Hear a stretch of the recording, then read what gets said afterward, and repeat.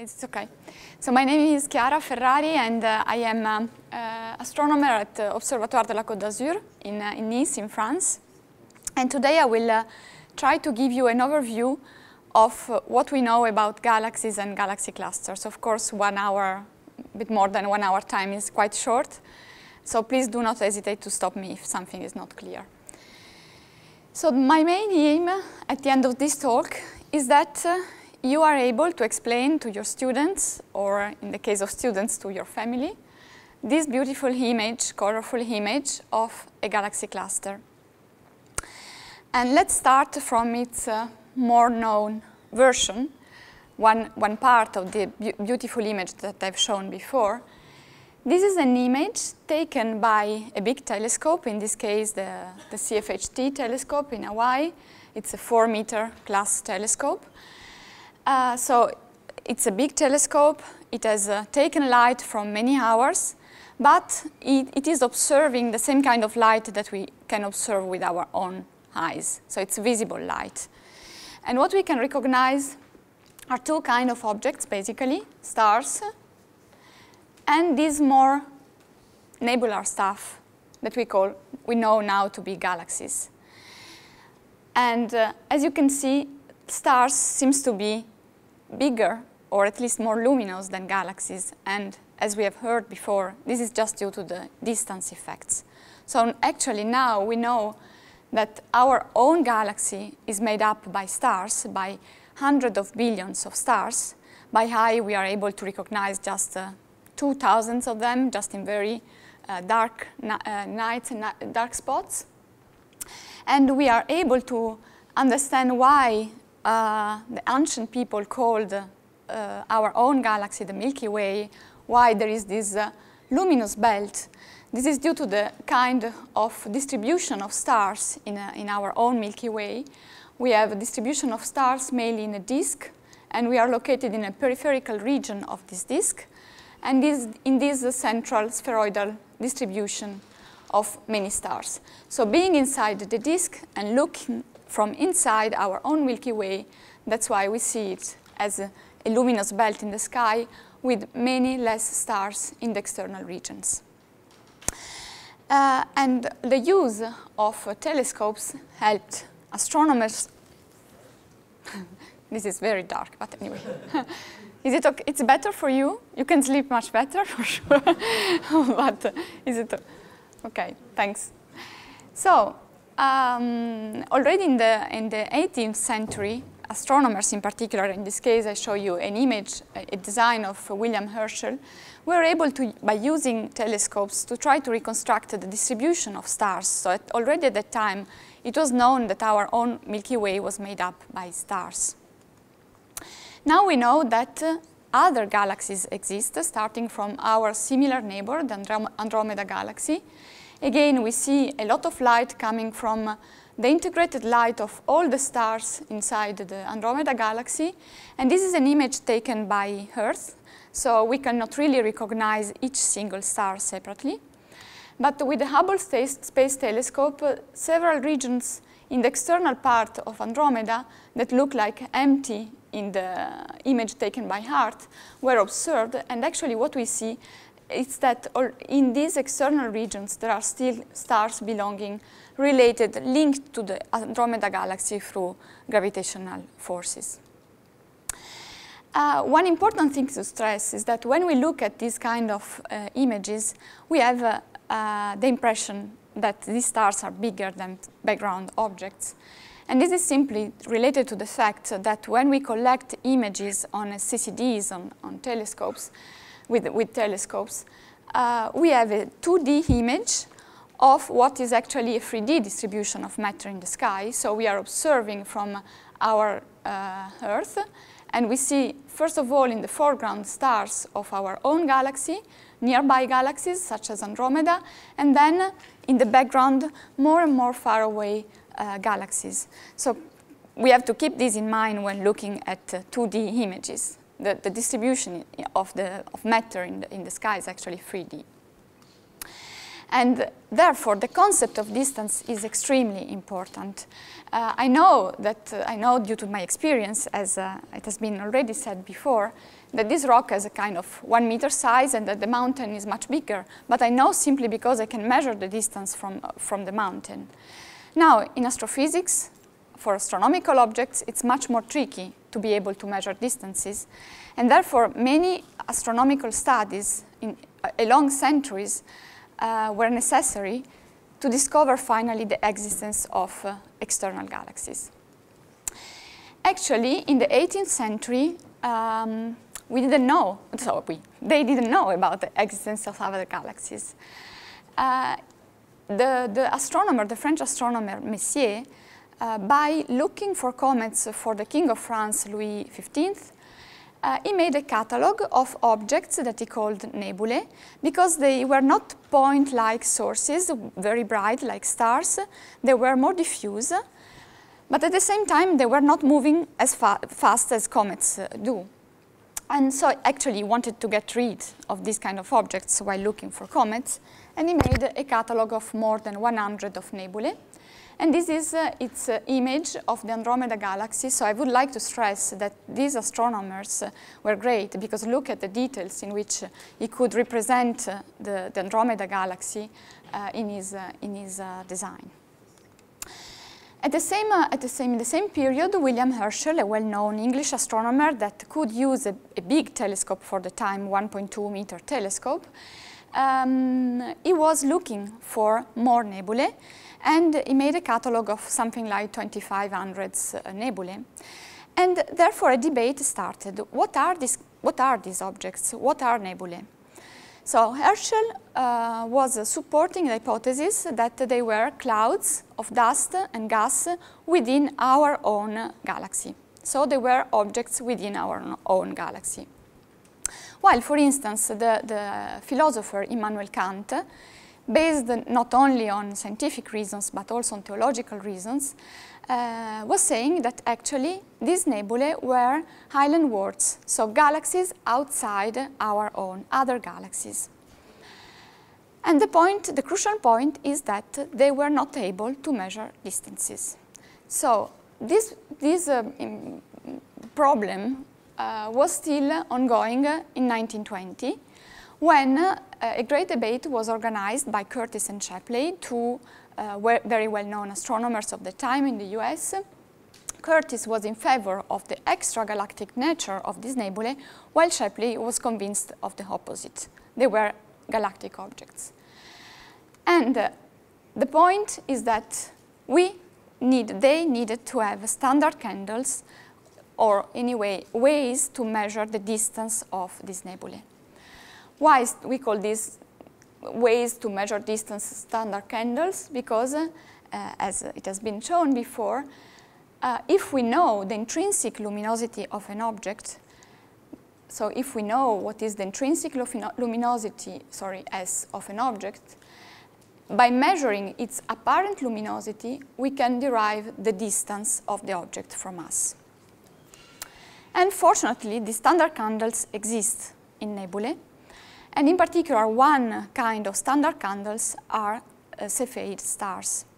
These Cepheid stars are stars that change their luminosity uh, with, the, with a certain period.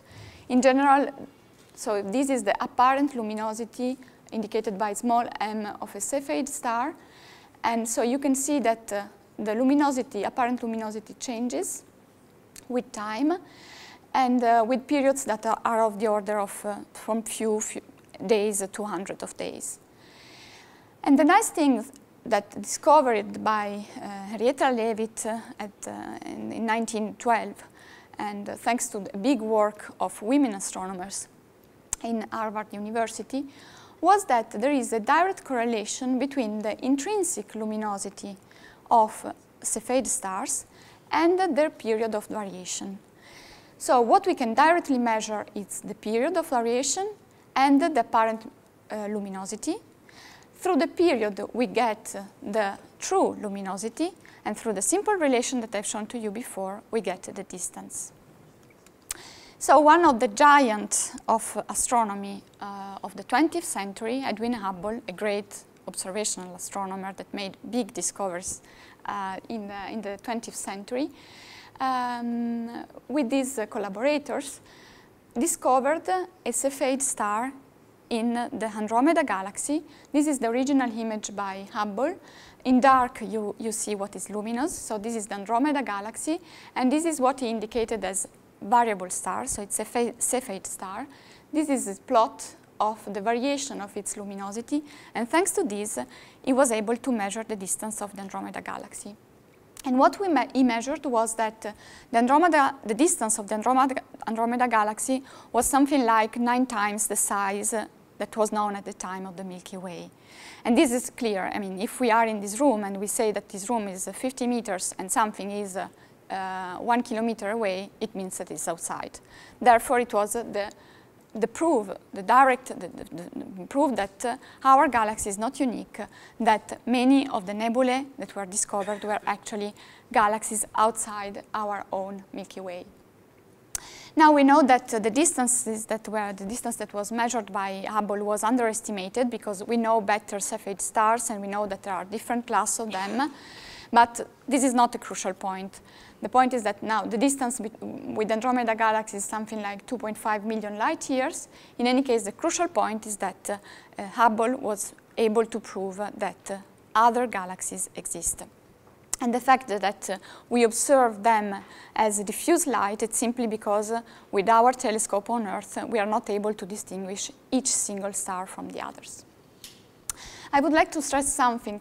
Uh, in extragalactic astrophysics, we don't really use uh, light years for measuring distances or sizes, but instead we use kiloparsec and megaparsec, so million of parsec, where one parsec is about uh, 3.2 uh, light years, just because uh, you can hear about this kind of uh, units. So now we know that hundreds of billion of galaxies exist. And actually it's quite, this is a, a movie made uh, using uh, different kind of images and made by the Hubble uh, space telescopes.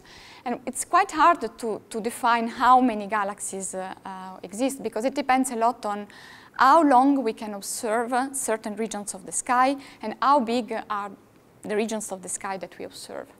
So in particular here, I, I show you some images, oops, sorry, um, taken in an extremely small region of the sky. It's actually a, a sub-region of uh, what uh, um, uh, George has shown before, the Hubble Deep Field. This is the extreme uh, Hubble Deep Field. Look at the, the, um, the size of this field in the sky compared to the full moon size. It's really extremely small, okay? Despite this, look how many galaxies are inside this, uh, this image. There are something like 5,500 of galaxies inside this uh, very small uh, region of the sky. And this is extremely helpful to, to have this kind of images because, first of all, it allows us to show that galaxies have different colors. So why do galaxies have di completely different colors? Now, the reason depends on their stellar content. As I said, the, the, the, the light that we observe from, from galaxies is the integrated life, light from all the stars within the galaxy. Now, we know that uh, stars are nearly perfect black bodies. And also what we know is that uh, the uh, temperature of the star increases as a function of its mass. So the higher is the mass of the star, the higher is its temperature, as well as its luminosity. And on the other side, that very massive stars stay the, on their main sequence, in their main uh, step phase of their life, just for a few million years. So very massive stars consume very fast their hydrogen, while low mass stars can stay on this main sequence for billion of years. So these information are crucial to understand the color of galaxies. Why? Because as I said, stars are nearly perfect black bodies, so their, flux, their spectrum, I, I, use a lot, I will use a lot the spectrum uh, word in my talk. The spectrum is the luminosity as a function of wavelength or frequency. So the spectrum of stars are the spectra of black bodies. So the hotter is the star, the bluer is, in the, the is peak, so the, its peak will be in the blue part of the spectrum, and vice versa for uh, cold stars. the other thing, important thing is that very hot stars have an integrated luminosity that is much higher compared to uh, cold stars. So let's take a, a, galaxy, completely not realistic galaxy, made up just by these four, four stars. So you have a faraway galaxy with four stars at different temperatures. Which is the color, in your, in uh, your opinion, of this star? Blue or red? Of this galaxy, sorry. This galaxy made up by four stars. You will see it blue or red. Try, in case we... Sorry? Blue. I heard the blue. Yes, it will be blue. It will be blue because there are four stars. The, the one that is more that has a higher integrated luminosity, it's at the peak in the blue, and so the integrated light from the four stars will be blue. But this star will die quite fastly, in a few million years. So after a few million years, these four stars have formed, the galaxy will look redder. So when we observe galaxies, some with blue parts and some without any blue color, it means that this star, uh, sorry, this galaxy is keeping forming stars.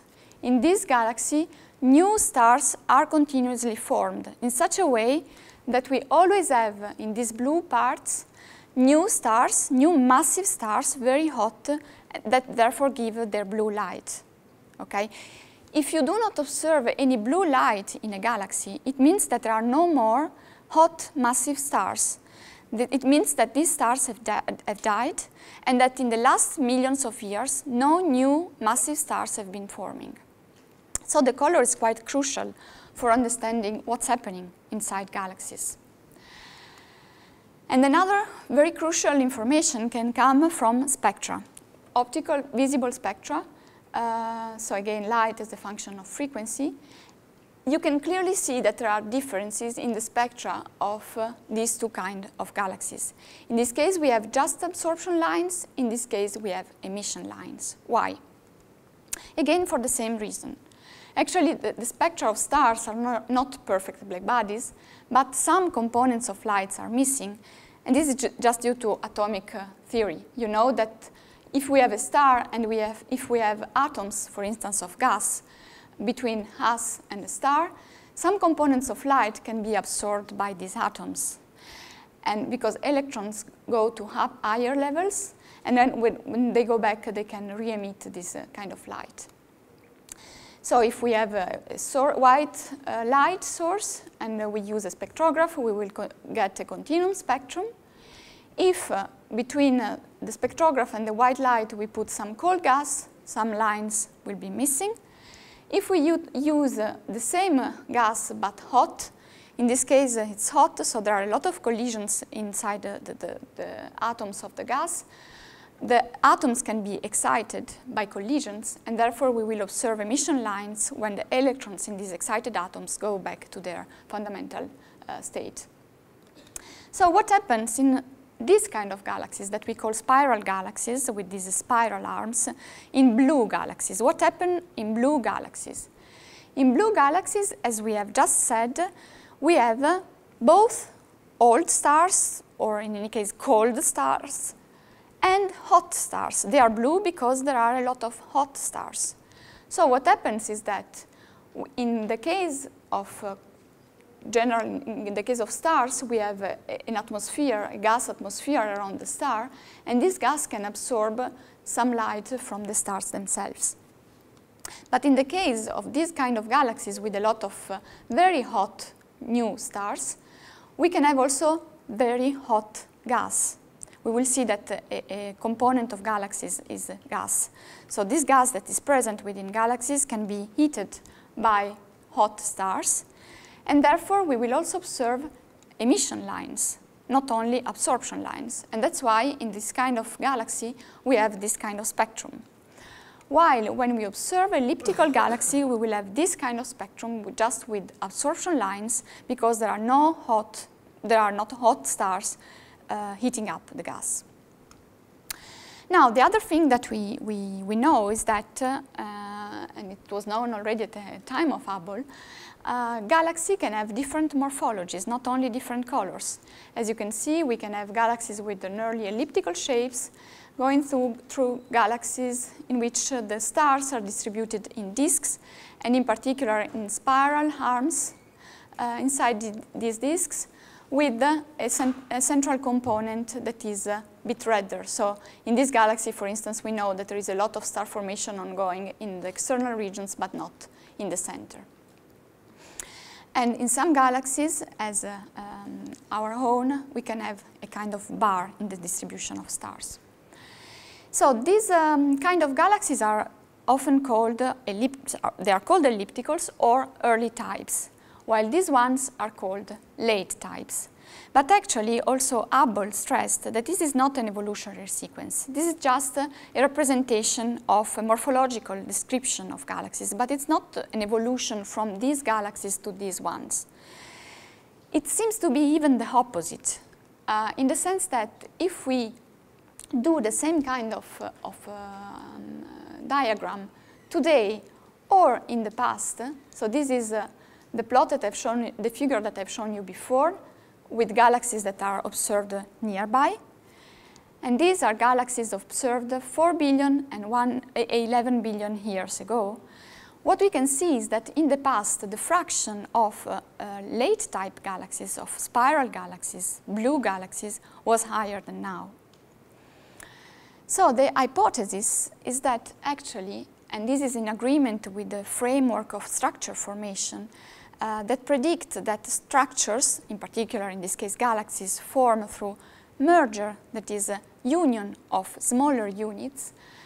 The idea now is that two spiral galaxies, by merging together, by interacting, can form over hundreds of millions of years an elliptical galaxy. So it's more in this sense than in the other way around.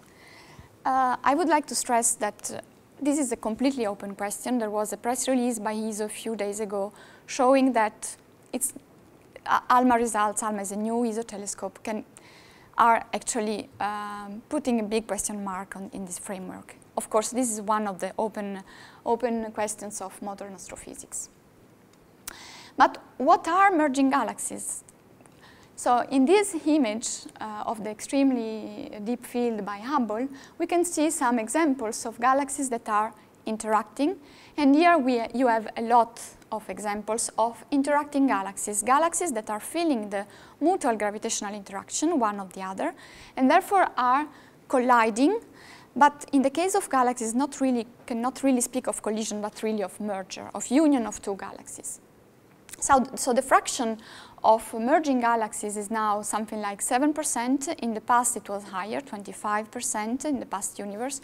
And this is again in agreement with this uh, uh, scenario by which structures form by union of smaller units. So this is a beautiful image. I, my parents were growing flower roses, so for me this image is particularly uh, beautiful because uh, it shows a kind of rose made of galaxies, but actually it, these are two galaxies. This one is less massive than the other. And the idea is that it has just crossed the other galaxy and uh, it will fall back to the central galaxy. How can we know this? How can we reconstruct the merging scenario of galaxies simply by looking at their images? Actually, this is something very tricky. It's not easy at all. Because as I said, the time scale for galaxy interaction is hundreds of millions of years. So I cannot follow the, the, the full uh, interaction process of galaxies. So we have two tools for doing this. Either we observe different galaxies in different phases of the emerging event, and this is what is done here. Uh, astronomers have observed different cases, and uh, they try to reconstruct how galaxies interact by putting together information obtained with this uh, kind of uh, sequence. But a very powerful tool are numerical simulations. Actually, in order, we, we can uh, observe a beautiful image of the sky through telescopes, but we can also reconstruct uh, true, kind of, not really true, but uh, realistic uh, images of the sky using numerical simulations. That means using big computers, using the law of physics that we know, that we think that are driving the evolution of the universe and all the structures in the universe, and by using this law of physics, try to reconstruct what we observe. Actually, this is a, continuous circle because uh, we, we use observations to, to constrain physics. We use this physics to do numerical simulations, and if numerical simulations match well with real observations, it means that we are interpreting in a, in a correct way what we, what we uh, observe. And so this is a nice movie by the Hubble uh, site showing the comparison of uh, numerical simulations of two galaxies colliding. And what they have done is that during the simulations, they insert images of true galaxies to see if they are able to reproduce in a correct way uh, what we observe. Of course, the other thing that we have to keep in mind is that uh, with, um, uh, with the tr true observations, we don't know the viewing angle. So with simulations, we can turn around the simulation and look at different galaxies in different morphologies. But uh, in the case of uh, uh, true observations, we have snapshots on, on, the sky. So the comparison between uh, simulations and observations is very crucial to interpret what, what happens. Now, um, in the universe, there are, of course, not only interacting galaxies. I told you that seven interacting galaxies are in, in, the present universe around 7%. D do you think that these are two interacting galaxies or not?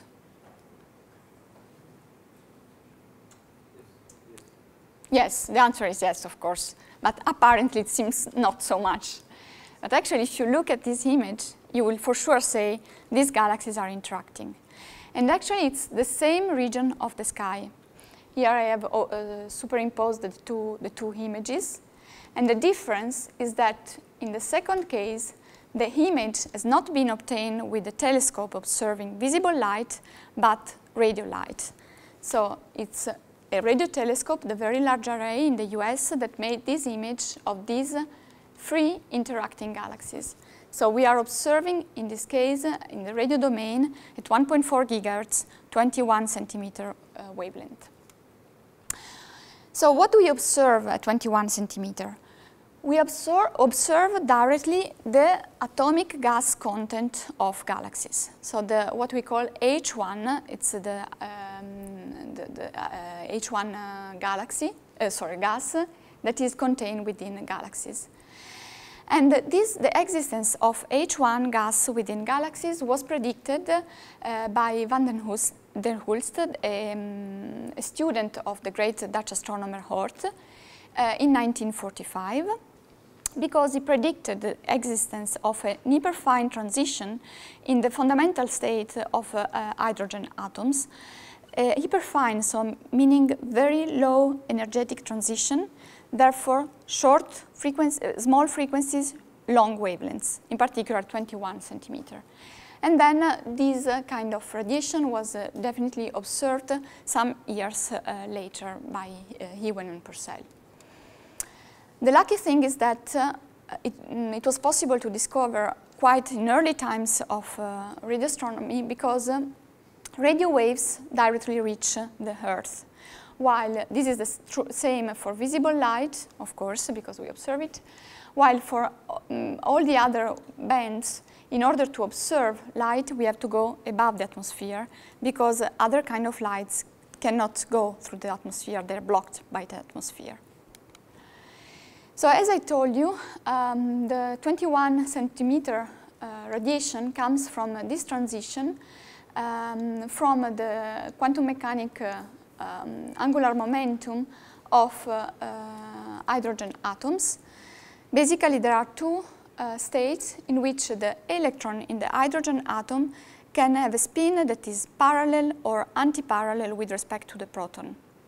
When it is antiparallel, it is in the lowest energy state. When it's parallel, it's slightly higher energy level. The difference corresponds to 21 centimeter radiation. So why can we observe this uh, kind of transition in galaxies? Because in normal laboratories, it's not trivial to observe it. Um, because in the, in the case of galaxies, we are in the perfect conditions to observe it.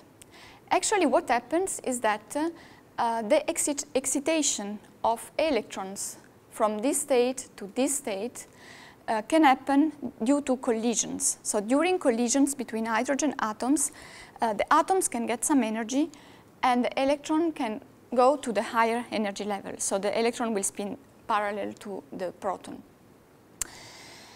When the electron go back to its uh, fundamental state, it will emit this radiation at 21 centimeter. The fact is that it takes quite a lot of time to go back. And therefore, there not so many collisions need to, ta to take place. Because if there are too many collisions, the atoms basically will not have the time to have the electron flipping back. It will always be excited, it will always get energy. And in the case of galaxies, actually, the density is very low, so there are not so many collisions. But at the same time, the amount of gas contained in a galaxy is so big that the, the probability to get this radiation is very high.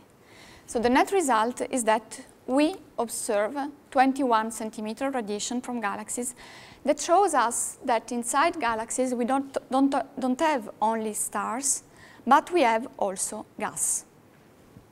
And this is again a numerical simulation uh, reproducing uh, the collision between these three galaxies, uh, giving rise to this kind of uh, distribution of, uh, of the gas. So in these simulations, the gas is simulated, not the stars.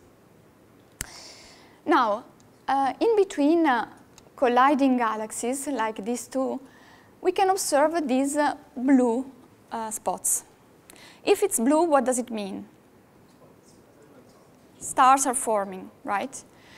And why stars are forming? Because stars form from gas. So the stars form from the gravitational collapse of cloud of gas uh, inside galaxies. So if we know that inside these galaxies there is a lot of gas, what we know also is that this gas is strongly perturbed during this interaction between galaxies. So this gas is perturbed, is compressed, and therefore star formation is increased because if you, you compress the gas, you will have more efficient star formation. And that's why in these uh, uh, regions in between two colliding galaxies, we have a lot of blue light. So keep in mind that stars form from um, gas. Now, starting from this image, this uh, uh part, it's uh, the galaxy M82, and this is uh, the 21 centimeter emission so we have just this emission at nearly at 21 centimeter. We will explain more this shape la later on. But the same galaxy observed at slightly higher frequency, 5 gigahertz and not 1.4 gigahertz, have this shape. So it's again radio emission, but it's a different kind of radio emission. It's not a line emission, it's continuum emission. This means that uh, there is continuum emission of light in the radio band here at different frequencies. So there is not just emission at 21 centimeter corresponding to a line, but there is, there is emission at 1, 2, 3, 4, 5 gigahertz, okay? And the difference is that this is due to atomic gas, this is due to synchrotron radiation. Synchrotron radiation arises when we have inside the galaxy relativistic electrons, that means electrons, free electrons, moving at the speed, very high speed, nearby the speed of light, and magnetic fields. These electrons spiralize around the magnetic field lines, they are accelerated, and therefore they emit radiation, in particular radiation at radio wavelengths.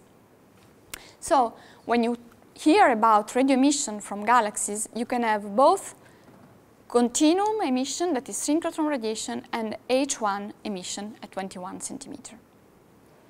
Why do we have uh, relativistic electrons in galaxies? One of the mm, seeds of electron acceleration are supernovae explosion. At the end of their, of their life, massive stars explode as supernovae, and during this uh, uh, star explosion, we can have acceleration of electrons. This is an image of uh, the Whirlpool galaxy with a supernova explosion. You can see that the supernova event is very, very bright. So there is a lot of energy that is released and electrons can get accelerated with, and in, inside the galaxy. So when you observe uh, this kind of continuum radio emission in a galaxy, it means that there is a lot, uh, there are a lot of uh, massive stars exploding uh, because you have a lot of electron acceleration. So again, this continuum radio emission you will find in blue galaxies, where you have very massive hot stars exploding. You will not expect this kind of continuum radio emission in elliptical galaxies why? because you don't have the, the sources of electron acceleration. So you see how many signatures we can get through the electromagnetic spectrum of what's going on within galaxies. Now, um, as I said, stars form from clouds of gas. And here we have a region of star formation in our own galaxy. And it's quite strange because we would expect a lot of light while we observe also some dark parts. And also in, external galaxies, for instance, these two interacting galaxies, um, as you can see in this uh, region in between the two galaxies, we have a lot of star formation, but we have also these very dark clouds. What's this? So these dark clouds that we observe in the visible are actually very bright in the far infrared. So this is a composite image of the two. In blue you have the uh, visible image, in red you have the far infrared image. So you see that there is a kind of complementarity. Where is it dark? Here it's, it's bright. Why? The reason is that inside the galaxies we don't have only stars and gas, but we have also dust. And what happens is that this dust, it's a kind of uh, 100 micrometer size grains of dust, like smoke on Earth. This dust absorbs the light emitted by stars. It's heated up by this light, and it becomes a black body radiator emitting in the infrared. So this, this, uh, the, this emission, this far infrared emission is black body radiation from the dust. While it's in the infrared, because the infrared has shorter, uh, a smaller frequency compared to visible, so the photons here are less energetic than those here. And this is normal, because some part of the energy of these visible photons has been used to heat up the dust. So, thanks to this multi-wavelength view of the Milky Way and of uh, other galaxies, we now know that in our own galaxy, we have stars. Here you have uh, the mass expressed in solar masses, so um, the mass of the sun. We have gas and we have dust. One of the questions that we will see in a few slides is that actually what we know, and we will see how, the total mass of our galaxy and of galaxies in general is much higher than the sum of all the components that we can observe through the electromagnetic spectrum. But again, this is uh, not only our galaxy, of course, emits at uh, many wavelengths. This is an image of the Andromeda galaxy at different uh, wavelengths.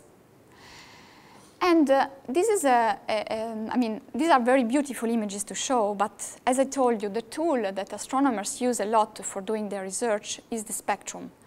Light as a function of, of wavelength. And here you have uh, the spectral energy distribution, so the light emitted as a function of, of uh, wavelength for different kind of galaxies. And this is a very powerful tool for astronomers. So you have the spectrum of two spiral galaxies, blue galaxies here in blue and green. Here you have the UV emission. There is a lot of UV emission due to the, a lot of hot stars. Uh, the optical emission. And then you have these two bumps in the infrared.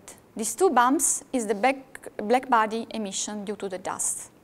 So you have these two bumps because in spiral galaxies you have a lot of gas and dust and therefore you have a lot of far infrared emission related to a lot of ongoing star formation. Of course, this is not the case for the elliptical galaxy here in red. This part of the spectrum is very low because there are not uh, hot stars and there is, not, there is not so much dust and there are not hot stars, so you see there is no, not far infrared emission. But also this black line curve here is an elliptical galaxy, and here you see that there is a lot of emission at many different wavelengths. Actually, this is due to the fact that uh, some uh, galaxies, actually quite a lot of galaxies, and in particular elliptical galaxies can host at their center a black hole. And this can give rise, the, the, the accreting material on a black hole can be strongly heated up uh, during the fall, towards the black hole and give rise to spectacular emission uh, at radio wavelengths. So this is a radio galaxy. This is the optical image, and in pink you have the radio emission. You can see that the radio emission can go much farther away than the optical uh, emission. And we have uh, several examples of this kind of radio galaxies. These are just a few examples. This is the, these are radio images of elliptical galaxies uh, hosting a black hole. You can see that they are much, much different from what we are used to. Again, in this case, this is synchrotron radiation.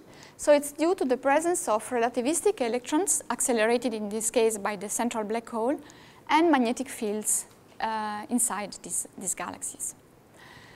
But again, the radio emission from galaxies can also come from 21 centimeter radiation, and these are images of spiral galaxies showing the distribution of the gas in their disk. So this is 21 centimeter radiation. So I drink. Oops. Sorry. Now, why, now, why we observe this double peak? Actually, this is due to the fact, to the Doppler effect. You know that when, uh, uh, you, when you, you have a, a, a wave approaching us, the, the wavelength that we measure is shorter. When the source is uh, um, going away from us, uh, the wavelength is increased. This is Doppler effect. So imagine to have a spiral galaxy turning in this direction. So while this arm is approaching us, the 21 centimeter line is blue shifted, while the, the, the arm is going away from us, the 21 centimeter radiation is redshifted, okay? While in the center, there is nearly no relative movement, so it's at 21 centimeter. So it's exactly what we observe here. You have a double peak because you have two different components of the galaxy. You have a part of the disk of the gas that is approaching us and part that is going away from us. So we can reconstruct how the gas within this galaxy is turning around through these measurements and at which speed. What is the velocity at which this gas is turning around in the galaxy? Okay? And we can do the same also with stars. We can measure through this Doppler effect what is the velocity, velocity rotation of stars in, in the galaxy at a different position of the galaxy. Now, this was done in particular, was started to be, to be done in particular in the 70s. It was the epoch in which this kind of studies really started to be extremely developed with the, the, the, um, the, study of rotation curves. In particular, it's very well known, the work by Vera Rubin and collaborators. So here there is the rotational curves of these of different spiral galaxies. So on these uh, plots you have uh, the rotational velocity as a function of the distance from uh, the galaxy center. So it's a, measure of how fast the gas or the, the stars are rotating as a function of this radius. And what we can, you can see is that uh, in basically all the measurements, the rotation curves reach a plateau. So this is not expected at all in the case of a system in which you have a big concentration of mass in the center and nearly no mass in the external region. So for instance, in the, in the um, solar system, you have most of the mass in the center, and so you expect a Keplerian shape for this rotational velocity uh, that is quite easy to, to calculate. So a, a, the velocity decreases with the radius. In the case of galaxies, the rotation curves show that the velocity, rotational velocity keeps constant. And can, it's easy to, to derive that this means uh, that the mass um, it's equal to a constant times r. So the mass is not all concentrated at the center, but it's a uniform distribution within the galaxy. So if we, um, if we build a rotational curve um, for galaxies based just on the mass that we observe from visible light, we would expect a rotational curve like this, okay, a decreasing rotational curves, because most of the mass is concentrated at the center, while we observe this kind of uh, velocity distribution. This means that there is a lot of mass that we cannot observe. Most of the mass uh, that explain the rotation curves of galaxies cannot be observed at any wavelengths. And that's why it's called dark matter.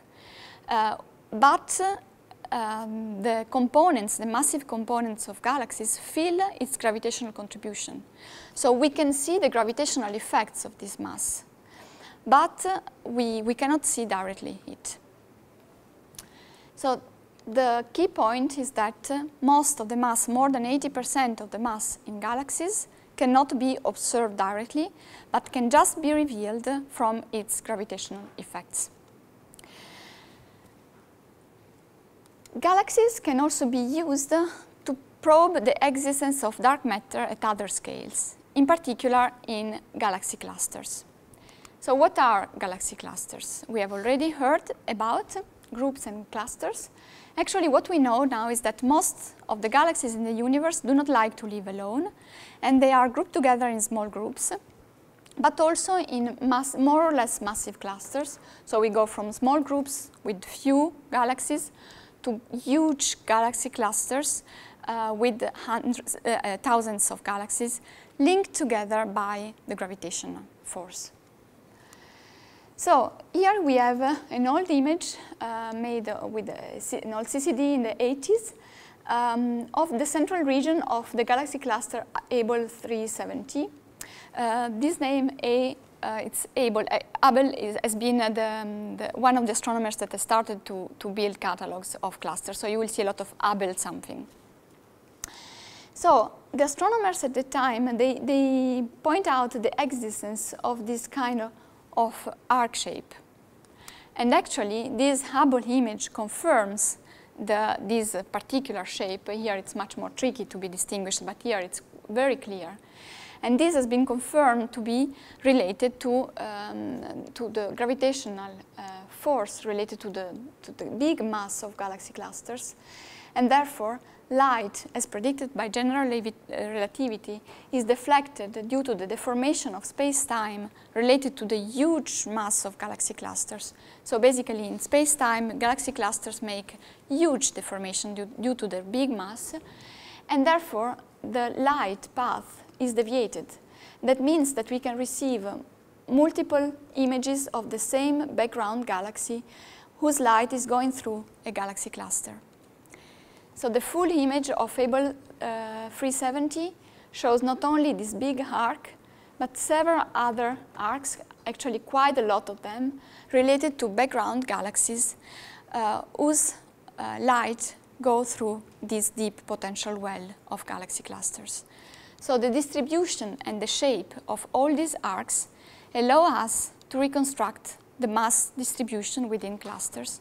And what we know now is again that more than 80% of the total mass of a galaxy cluster cannot be observed directly with light.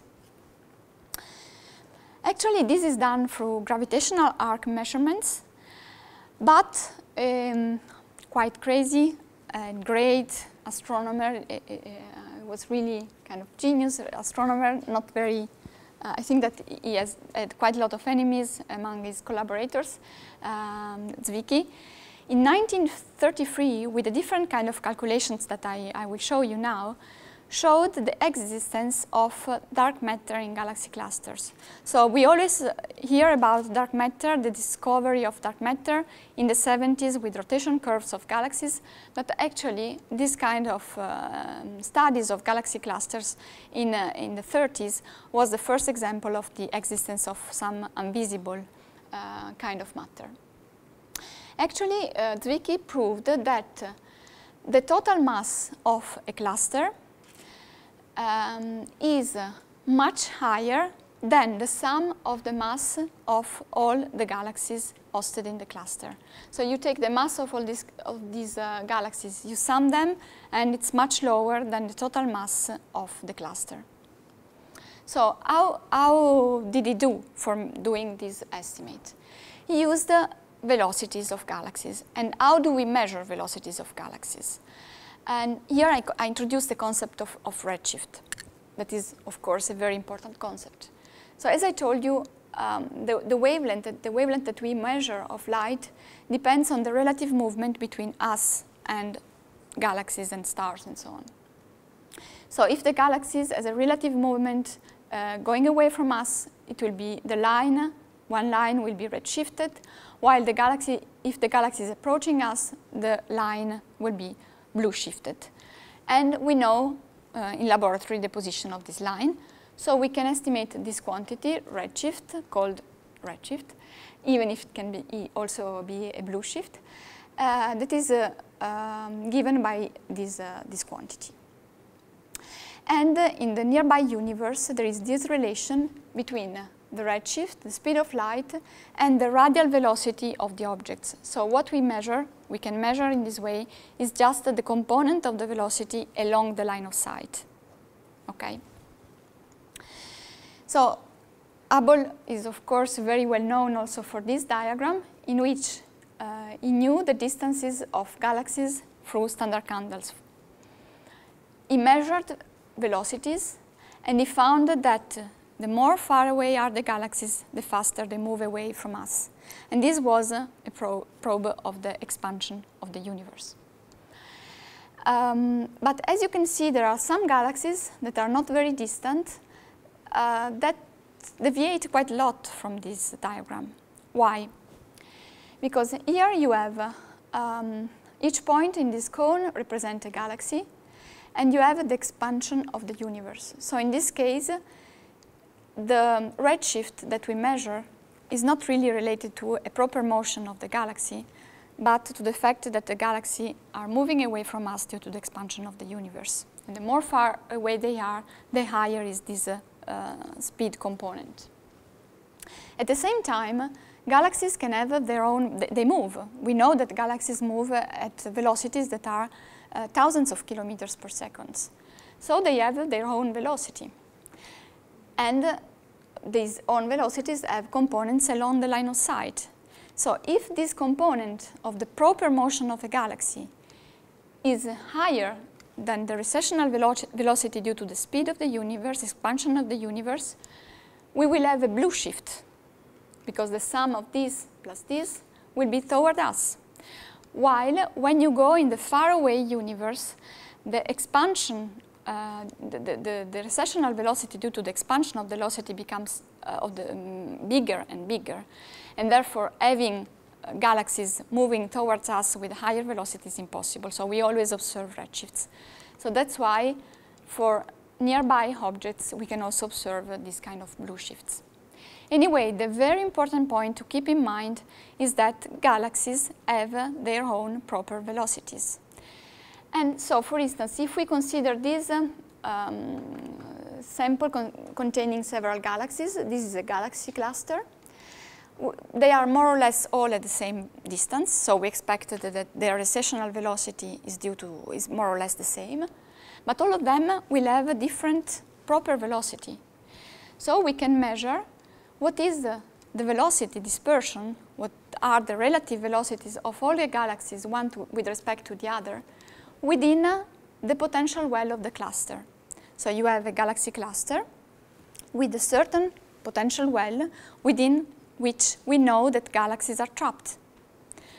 What Zwicky found was that galaxies were moving too fast to be trapped by a potential well made up just by uh, the sum of the mass of the galaxies. So basically, he, said if the, the, mass of the cluster is, the, is uh, made up just by the sum of the mass of all the galaxies, this potential well is not deep enough and the cluster will break apart because galaxies are moving so fast that they cannot be linked together by gravity. So this means that the potential well is deeper, that the mass of the cluster is much higher. Okay. So now we know actually that the galaxy clusters, and we will see more about this mass later on, we know that uh, rich clusters are the largest gravitationally bound virialized systems in the universe. What does it mean, in other words? Because this is the phrase that you find in 90% of papers about galaxy clusters. So this is an image of a galaxy cluster, and this is an image showing four galaxy clusters nearby, would say, in the sky, at least in projection. So this structure is gravitationally bound. That means that uh, galaxies within a galaxy cluster move very fast. But the global size of the galaxy cluster will not increase due to the, due to the expansion of the universe. Galaxies are linked together by gravitational, gravitational wind. In the case of superclusters, the four clusters here are going away one from the other due to the expansion of the universe. So in this case, gravitation does not win. And with my students, I always use this example of the raisin brain, uh, bread, sorry, raisin bread. So in the raisin bread, the bread increases its size while it's in the oven. But the raisin are not uh, changing their size due to the expansion of the bread. So in our example, if the bread is, is the universe, the clusters are the biggest raisin in the universe, while superclusters are going away one, in case of superclusters, the clusters contain are going away one from the other due to the expansion of the universe. Now we are nearly done. You can explain quite a lot of things about this image. You can explain why in the visible image galaxies have different colors and different morphologies. Um, you can explain why you can reconstruct a mass distribution that is different from the distribution of galaxies. So this uh, image here uh, represents how much light is contained in a galaxy in this region of the, of the, of the sky. So the, the most luminous parts contain more galaxies. And you can see that most of the mass of the cluster that has been reconstructed through this arc uh, analysis is not really distributed as galaxies.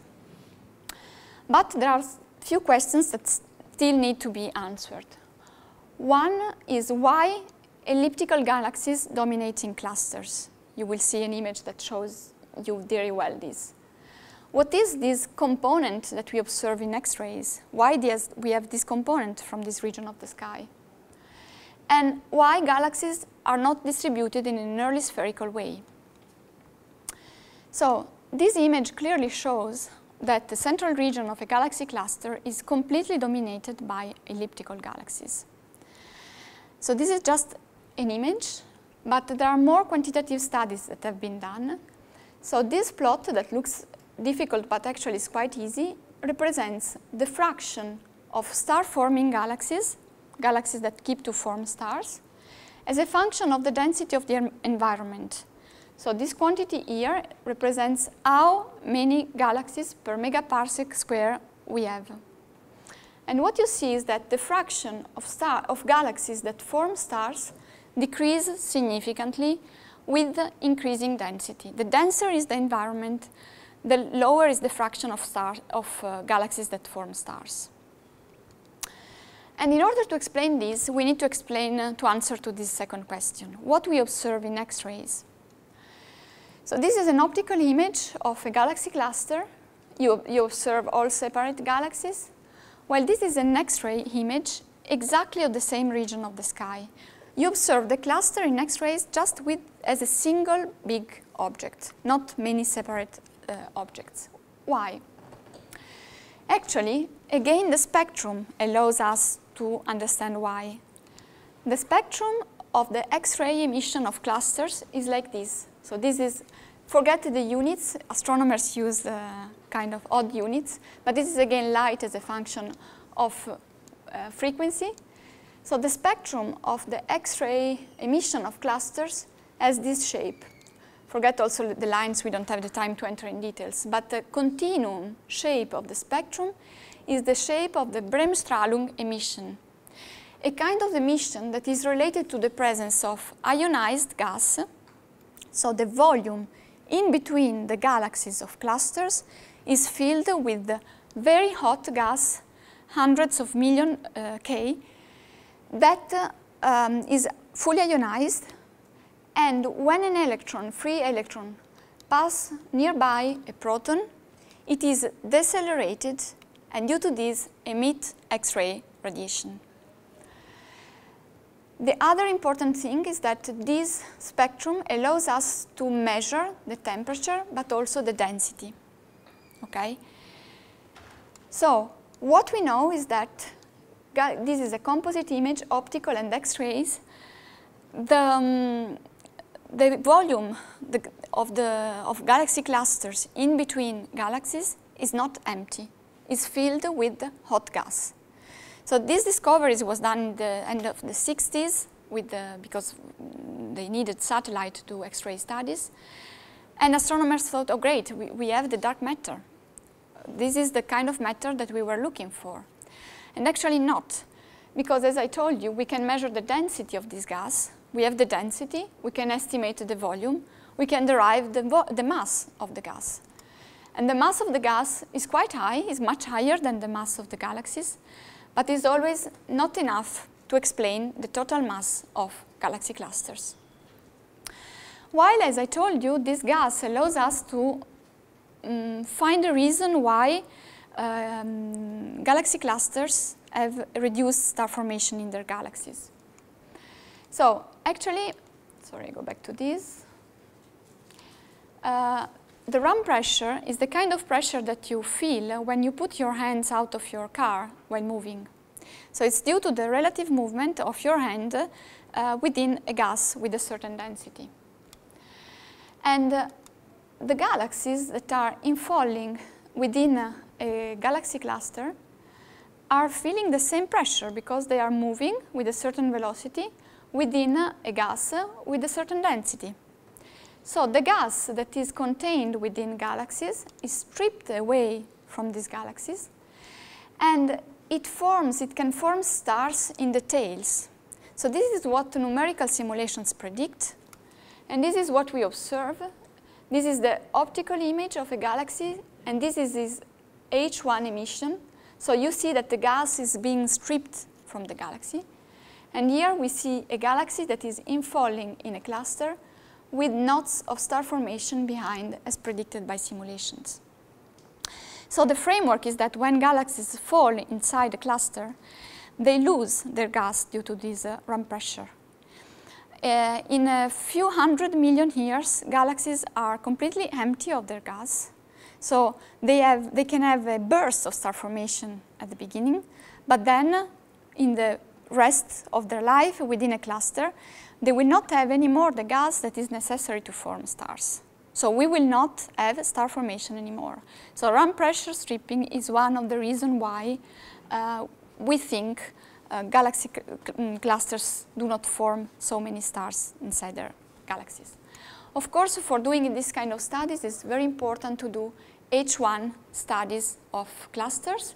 So this is the Virgo cluster that is a very nearby cluster. It's X-ray emission and you see the H1 emission of uh, uh, its galaxies represented here.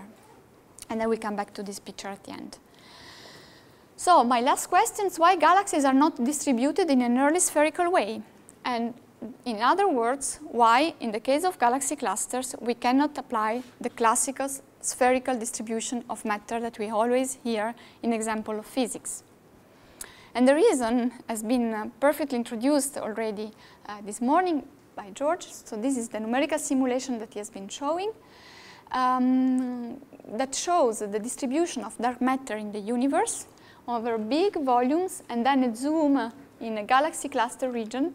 You see that galaxy clusters form through mergers of smaller units. So galaxy clusters form by merger of uh, a massive cluster with smaller ones or by the merger of two massive clusters. And this is a nice numerical simulation in which uh, the white particles represents dark matter, and it also traces the distribution of galaxies, some sense, while the color correspond to the hot gas that we observe in X-rays.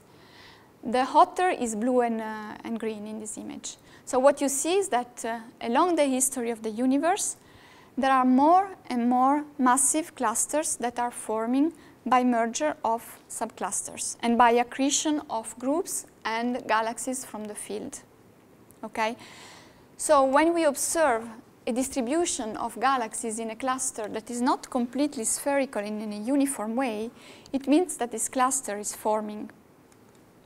And here we have a, a very nice example, the so-called Bullet cluster. Here you have two sub-distributions of galaxies. Here you have the uh, visible plus X-ray emission. You can clearly see that also the gas has substructures in its distribution. And here you have uh, the dark matter distribution reconstructed through lensing analysis. There are clearly two substructures. And the important thing is that, as you can see, that the various components are not distributed in, the, in a uniform way. So this is due to the fact that during this cluster collision, the blue component is dark matter, the pink component is uh, the gas. The gas is highly collisional, while uh, dark matter is not. So in some sense, the gas is delayed during uh, the collision because uh, there are particle, a lot of particle collisions. And so we have this different distribution of gas and dark matter. While you expect that at the end, when a cluster is in equilibrium, all the components will be more or less in equilibrium in the potential well. I finish with some uh, interesting uh, information about the radio uh, images of clusters.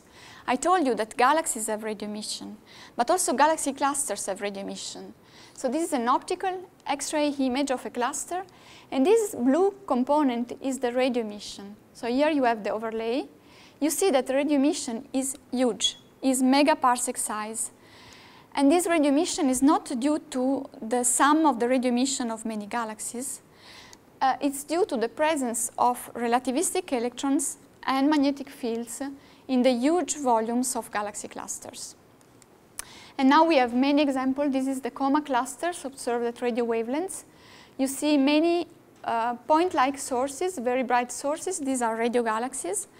But all this huge and very faint emission is due to relativistic electrons and magnetic fields over megaparsec scales. Here you have more examples of radio emission really on huge scales of clusters. And the idea is that this merging of galaxy clusters is able to accelerate electrons uh, to relativistic speeds and give rise to these giant radio sources. Here you see again radio emission, very huge. So uh, for all these kind of studies and for understanding better what's happening at radio wavelengths in galaxy clusters, and not only in galaxy clusters, uh, we have a new facility that is being discussed. Chris is deeply involved in this, and it's the square kilometer array. As uh, it's an array in the sense that is uh, made up by many antennae, we will see thousands of antennae, and the total collecting area of the telescope at the end of the project will be of uh, one square kilometer. So there are two sites. The antenna will be built in Australia and in South Africa. In Australia, there will be uh, this kind of antennae that are observing hundreds of megahertz, part of the um, electromagnetic spectrum. So they are very simple antennae, but there will be hundreds of thousands of them. While in a, a part of Australia, but in particular in South Africa, there will be these big dishes observing the gigahertz part of the electromagnetic spectrum. So this telescope is, of course, uh, extremely interesting from the technical point of view, from the galaxy cluster point of view, will allow to trace the H1 hydrogen in uh, galaxy clusters at very high redshifts. So up to now we are limited to study of H1 in, um, in Virgo cluster in very nearby galaxies.